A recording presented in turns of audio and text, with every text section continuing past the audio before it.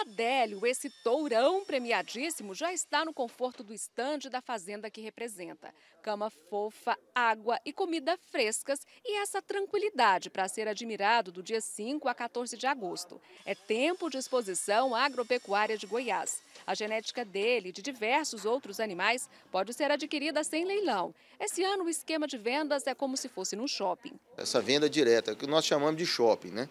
É, o cidadão vem, olha, agrada, negocia e leva. A programação não terá grandes shows para que o evento seja acessível a todos os públicos. A questão dos shows é o preço. Né? O preço muito caro e a estrutura é muito cara. E aí a SGPA, como é uma entidade privada, ela teria que, ela teria que passar isso para o público. Né? Então nós trabalharíamos com ingresso de 300, 400 reais que é o que está sendo praticado nesses festivais aí, nesses shows que nós estamos vendo todos os finais de semana em Goiânia.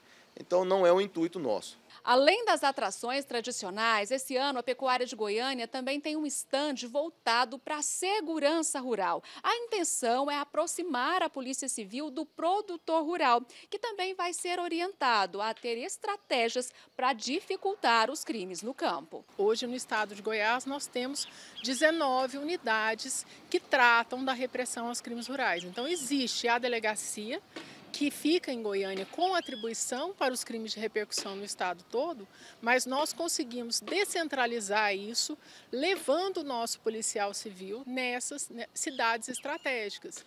A visitação no Parque de Exposições já começa nesta sexta-feira. São vários restaurantes que estão nos últimos ajustes, boates para shows internos, claro, muitos espaços para outros animais e programação para criança. Nós temos a mini fazendinha, aonde as crianças vão acompanhar aquilo ali de perto. Nós teremos vacas, mini vacas, mini cabrito, pôneis, e ali ele vai ter o um contato com os animais e ver a realidade do produtor rural, né? Pela via que a, o leite não vem da caixinha e a carne não vem do açougue, né?